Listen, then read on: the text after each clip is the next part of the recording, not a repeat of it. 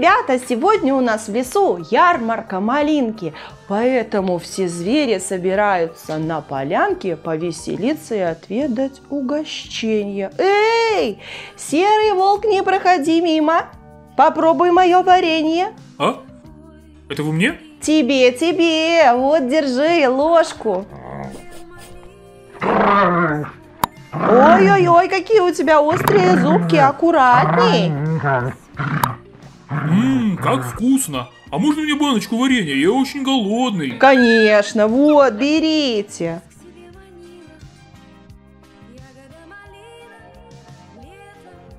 Спасибо. Пожалуйста, пока-пока.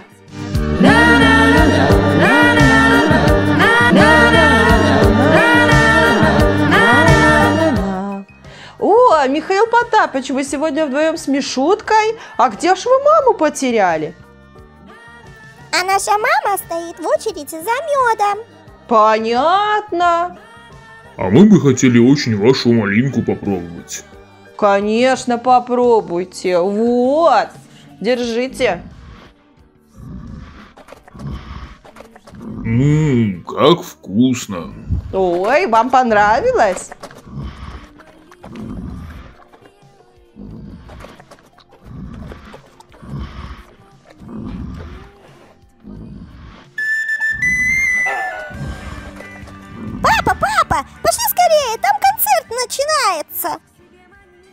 Ну пойдем, раз обещал. А за малинкой придем после концерта. Хорошо, я вас буду ждать.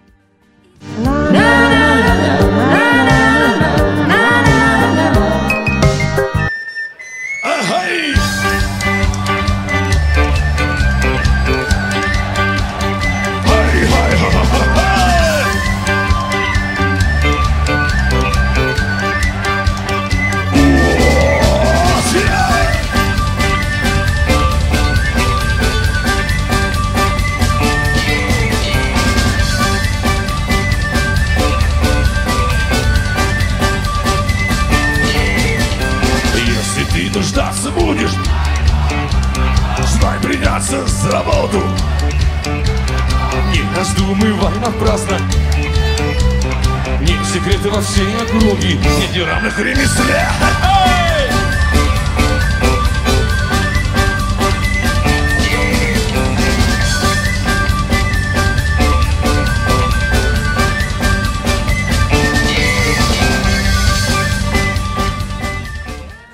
Какой замечательный концерт! А ну, пошли прочь, полосатые жужжалки, так и норовят съесть мое варенье! Знаете, дети, осы очень любят сладости, поэтому их часто можно увидеть рядом, когда вы едите мороженое или конфеты. Проходите, Зая Петровна, осы уже улетели. Хотя, кажется, не все. Что, еще осы? Нет, теперь их точно нет. Знаете, этих ос с детства не люблю. Ммм, какой чудесный малиновый аромат стоит по всей полянке. Ух, как мне повезло, что очереди нет. А можно мне баночку набрать варенья? Конечно, можно. А где ваш зайчонок Сева? А Сева остался с ребятами кататься на детской горке. Он у меня такой непоседа, поэтому я очень спешу. Внимание, внимание! Зайчонок Сева потерял что ее ищет ребенок. Какой ужас! Его невозможно оставить одного ни на минуту. Вечно выпадают какие-то неприятности. В прошлый раз мечом разбил в доме окно, понимаете? Эх, побегу его искать. А я с вами, подождите.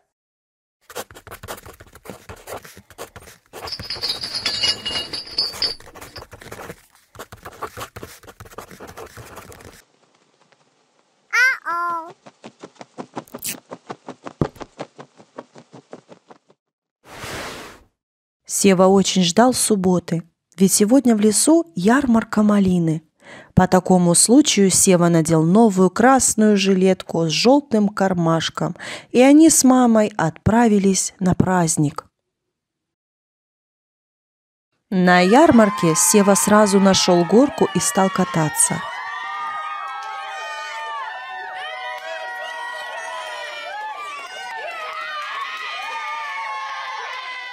Зайчик мой, я схожу за малиновым вареньем, а ты никуда не уходи. Но Сева так увлекся, что не услышал маму.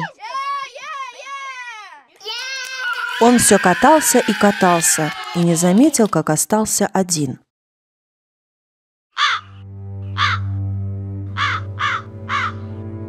«Где все?» – испугался Сева. «А мама где?» И тут Сева понял, что потерялся. «Что же мне теперь делать?» Горько заплакал зайчик. Но вдруг Сева догадался. «Погодите!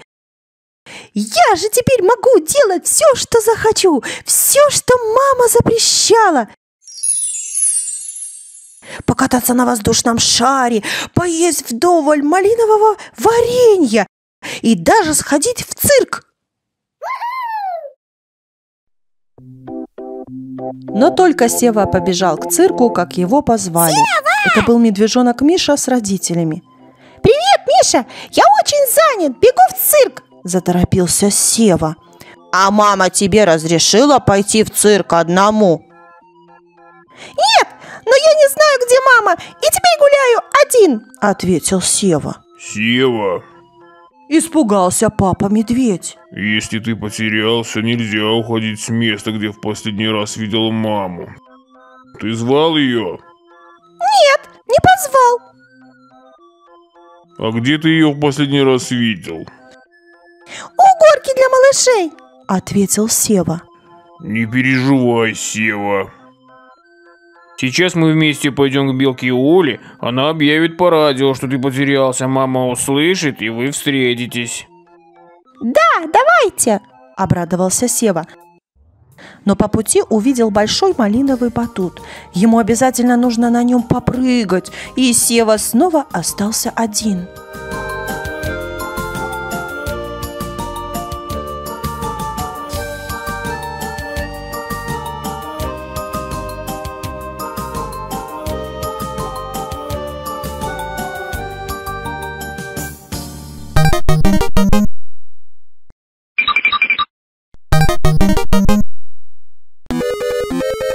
Тут к зайчику подошел страшный волк. «Малыш, ты гуляешь тут один?» «Да, но я ищу маму. Видишь? Там на опушке мой мотоцикл». Волк хитро улыбнулся, дал большой бинокль и сказал.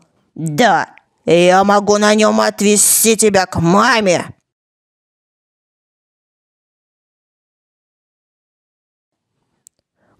Там, где мухоморы? Ого, какие большие колеса! Сева был в восторге. Как здорово! Поехали!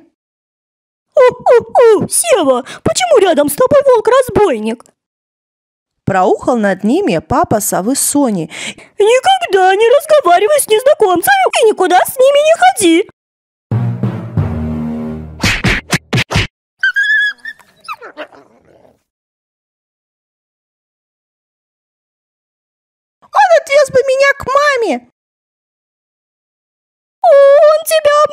И мог съесть.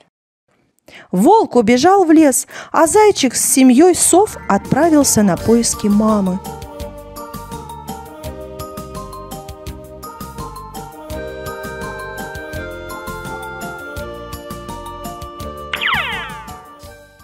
Тем временем Мишки встретили маму Севы. Она искала его по всей ярмарке.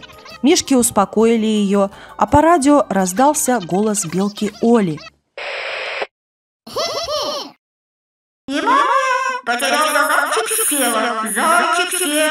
Мама будет ждать тебя на опушке. Уважаемые жители леса, если вы видели зайчика в красной жилетке с желтым карманом, отведите его, пожалуйста, на опушку. «Мама, мама, мамочка!» Сева побежал к маме навстречу. «Я больше не буду теряться!» «Сева, мой дорогой!» – кричала мама. Радовался Сева, радовалась мама. Как хорошо, что Сева нашелся! Спасибо вам всем, друзья! Поблагодарила зверей мама Севы.